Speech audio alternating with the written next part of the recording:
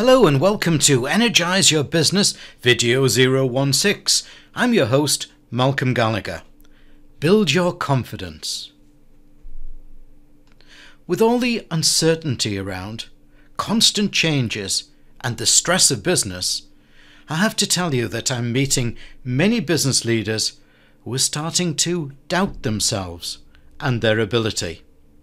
Now, few people succeed in business without self assurance but it can be very lonely as a leader.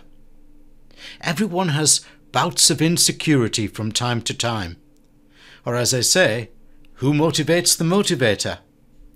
Coming up are three ways that you can boost your confidence.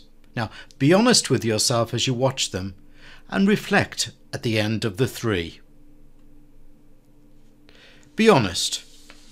Know what you're good at and what you still need to learn.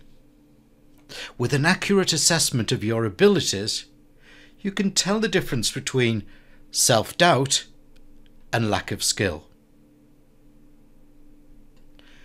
Practice. If there's a job or task that you're worried about, practice doing it. Preparation builds both skill and confidence. And the third, embrace new opportunities. Playing to your strengths is smart, but not if it means you don't try new things. Conquer fresh challenges to remind yourself what you're truly capable of as a great leader. Reflection Where do you need to take action? Business and life can be very draining in many ways. Everyone needs re energizing, batteries recharged, vision more into focus.